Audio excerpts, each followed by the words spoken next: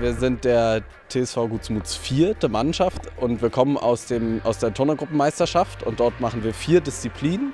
Diese vier Disziplinen sind das Turnen, das Tanzen, beides in der Gruppe zu acht. Dann werfen wir noch einen drei Kilo schweren Medizinball rückwärts über den Kopf und machen einen äh, Orientierungslauf durch einen Wald, wo wir Punkte finden müssen.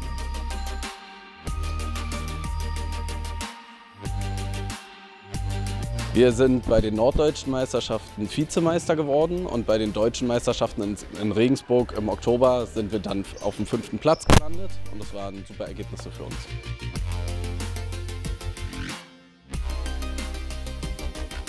Auf jeden Fall die Diversität und Kreativität, weil wir echt ganz schön viele verrückte Charaktere zusammen in dieser Mannschaft haben. Außerdem sind wir eine reine Männermannschaft und in unserem doch sehr von Frauen dominierten Sport gibt es nur dreimal in Deutschland. Und so erfolgreich wie wir in diesem Jahr waren, ist sonst keine reine Männermannschaft.